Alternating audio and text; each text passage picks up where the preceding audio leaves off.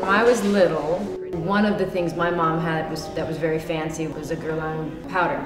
And I remember she never really used it because she didn't wear much makeup, but she kept it in her box. And so I told the company this little story that I coveted her Guerlain powder. I said this morning they brought in lots of different old ones to see if I could find it.